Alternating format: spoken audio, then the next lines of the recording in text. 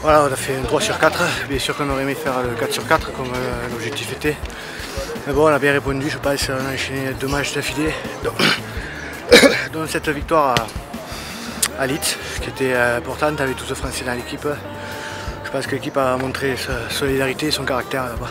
Voilà, on prend match après match, mais celui-là il a une saveur particulière. Ils sont cinquième à 6 points. Si on gagne, euh, je pense qu'on sécurisera les, 4 matchs en playoff à domicile. Oui, ils ont des demi. Euh, ils, ont prêté Burns, ils ont mon Wolf qui est blessé. Ça reste quand même solide devant. Je pense qu'ils ont un gros pack et des, joueurs de talent avec Théo qui, arrive à manier bien l'équipe. À ce moment, il est, il en bonne forme.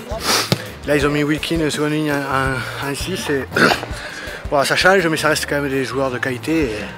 C'est à nous de faire le boulot devant et rester dans le match, dans le bras de fer, le plus longtemps possible. Et avec la chaleur qui s'annonce, ils vont craquer les premiers. Oui, je pense qu'on l'a vu euh, de suite. On a répondu contre euh, cette équipe du KR. Sur la première mi-temps, c'est vrai que la seconde mi-temps était un peu moyenne.